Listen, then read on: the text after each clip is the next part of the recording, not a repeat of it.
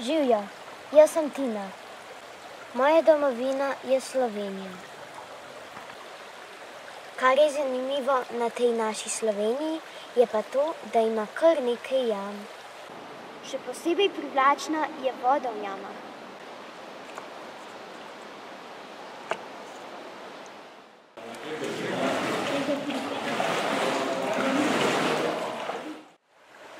Zdaj pa je dost reklame za jame. Poglejmo, o čem pripoveduje ta film. Vse se je začelo na dedijevi rojstnodnevni večerji. Matej, a mi daš tole vedrce?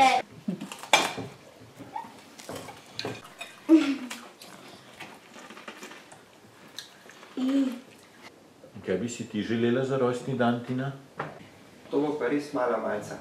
Jamski vlak odpelje vsako uro od devetih naprej. Zdaj bi pa radi videli kakšno novo jamo. Tako, ki je pred nami še noben ni videl. In kaj narediš potem? Kako dolgo je pa treba kopati?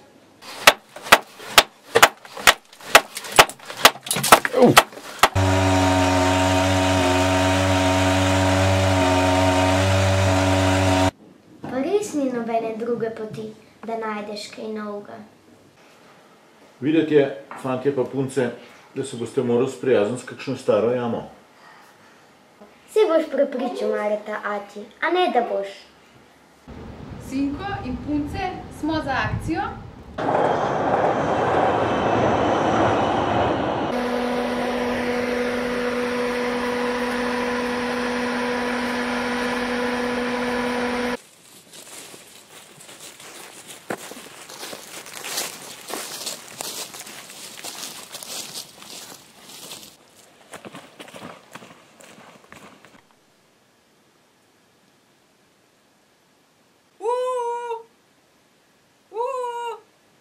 Kako bomo pa prišli dol? A ni malo prenevaren? Jaz sem na TV videla jamarje, ki so šli dol po eni sami špagi. Temu se reče vrna tehnika, samo nimate ne znanja, ne opreme. Potem pa se lahko samo obrnemo in gremo nazaj domov. Mod bomo šli tako kot dedi in njegovi frendi pred 50 leti. Ja, kot ste lepe. Kot dva jurčka.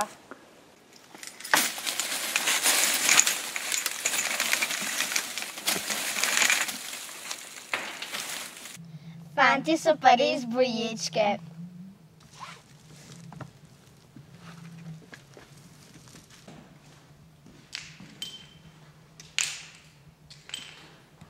Sveta Barbara, zavetnica nas kopačev, pomagaj mi dol.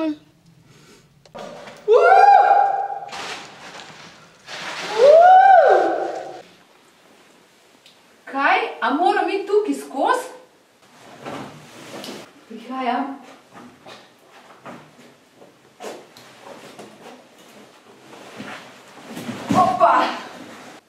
No, punce, pa ne bo nič vozakanja s čuničkom, pa drugič. Če se zgubimo v labirintu, bi nam hrana prišla še kako prav.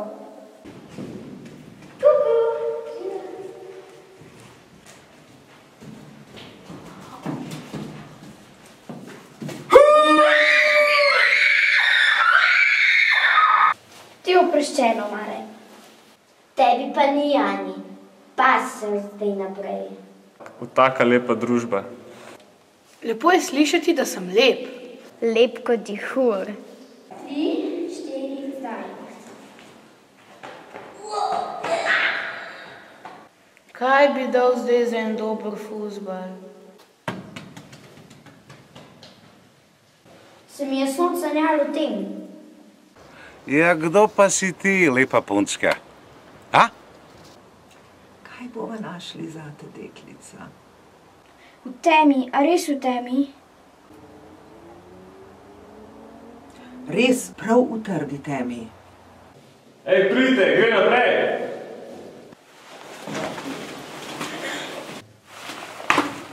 Zdaj vidiš, zakaj imamo čelade. Zato, da se v stene zaletavamo.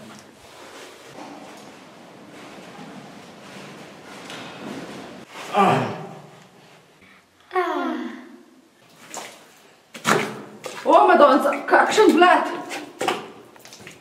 da se ne boš zvrnil, no. Nam se.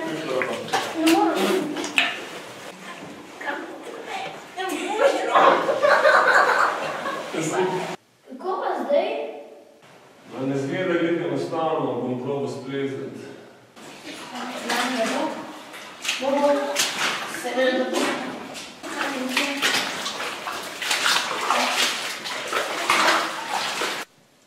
pa jama neha. Daj transportke, prosim. A si prepričan? Bo že v redu, verjem mi.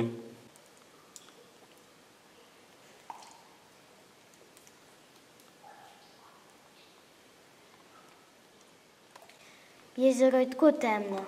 Kaj, če bi šli nazaj? Tako lep je in tako močan. Jaz mu verjamem.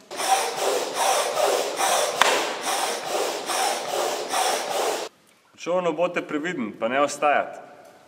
Jani, drž veslo tako, kot jaz. Takole. Pa veslej samo takrat, ko ti rečem, Jani. Razumem, gospod komandir. A zdaj bomo pa vlekli čovne po skalah? Točno, samo da ne mi, le gospod in gospa.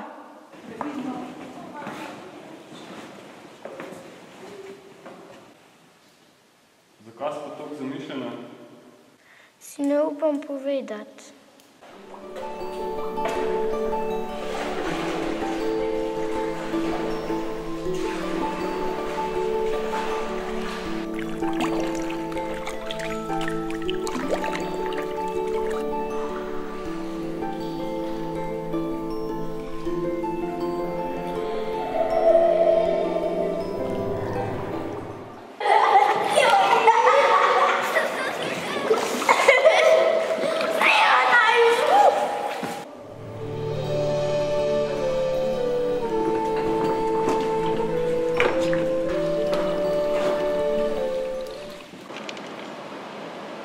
Pa so res črni biseri.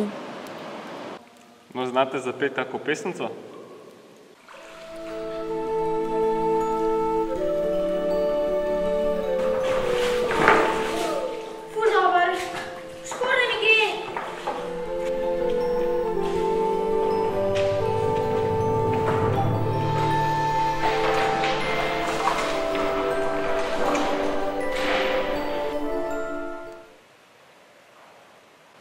Bomo pa tukaj dol prišli?